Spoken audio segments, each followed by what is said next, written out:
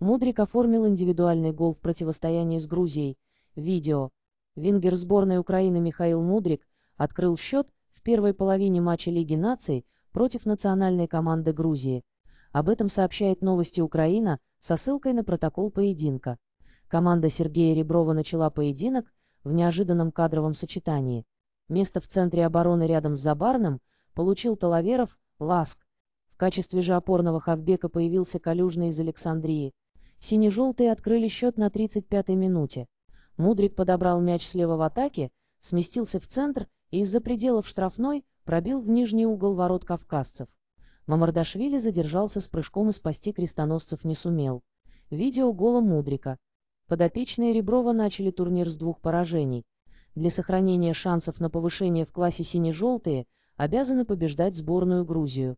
Кавказцы стартовали с двух побед разгрома Чехии 4-1 и минимального успеха с Албанией. К слову, ранее вспомнили историю противостояния Украины и Грузии перед Лигой наций.